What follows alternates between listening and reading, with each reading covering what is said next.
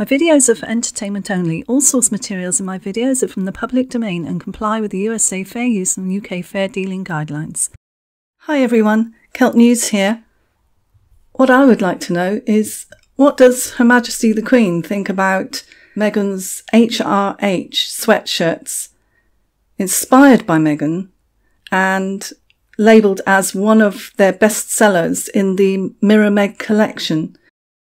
This is unprecedented, and I just wonder what she thinks. I wonder if she actually knows. She was supposed to have closed down everything when she married Prince Harry, uh, but she still has carried on. She just gives it to others to do on her behalf. So will she be copyrighting HRH? And also, it doesn't mean, I suppose, that it stands for Her Royal Highness, though obviously that's what she intends it to mean. Also selling everything even down to when the merching when they go on actual royal tours and royal appointments. So when is this going to end? When is the Queen or Charles going to stop this stuff from being put out there? I've gone to the website and it looks like people are really thrilled buying these. So she's making money off the HRH and started at a very young age. Her first film she made, wasn't it? In, in her backyard with her friends. Her Royal Highness.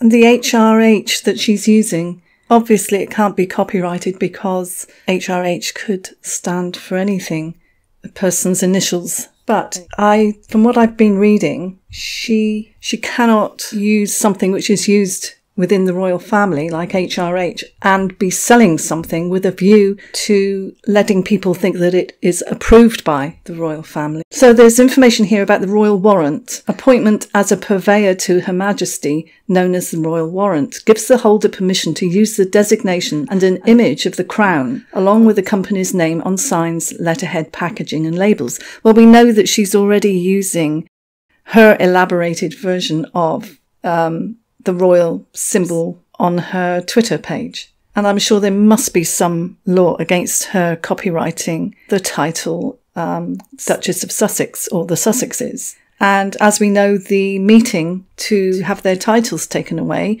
I know that it's ultimately up to the Queen to take the titles away, but this, the Brighton and Hove Council can put pressure on the Queen to remove their titles and can refuse to have them there and refuse to acknowledge their titles. So she is, let's face it, by her putting these t-shirts, quite tacky t-shirts with HRH on them, on her website, she's also side by side got these other adverts of the clothing that she's wearing when she's doing a royal tour or a royal appointment. So by doing that, she's, it's a very grey area. She is making it look as if she's got royal permission to, to use the HRH. For her, it means Her Royal Highness. But it also goes on to say that when in doubt, you must contact the Lord Chamberlain's office. Here we are. Guidance on the use of royal arms, names, and images. The following booklet summarises the legal position governing the use for commercial purposes of the royal arms, royal devices, emblems and titles, and of photographs, portraits, engravings, effigies, and busts of the Queen and members of the royal family. Guidance on advertising, in which reference is made to a member of the royal family, and on the use of images of members of the royal family on articles for sale is also provided.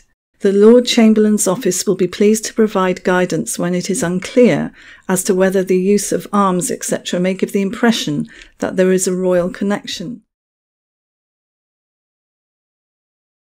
I think HRH gives the impression that there's a royal connection, especially when it's alongside um, royal appointments. But the thing is, um, she is classed as a royal at the moment. If she divorced, she probably wouldn't be able to do this. The thing is, she shouldn't be able to do it now anyway. It's uh, nobody else does this. It's widely accepted and common knowledge that once you marry into the royal family, certain things you don't do and you definitely don't sell them.